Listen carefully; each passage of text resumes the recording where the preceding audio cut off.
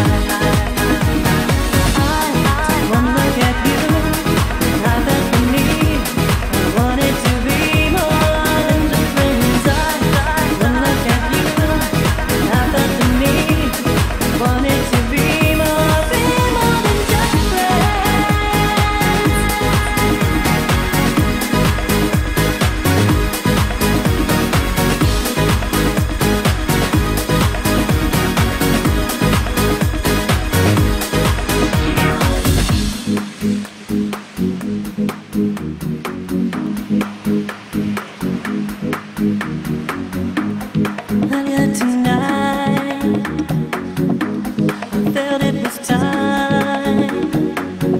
Heading out for an evening with some of my friends.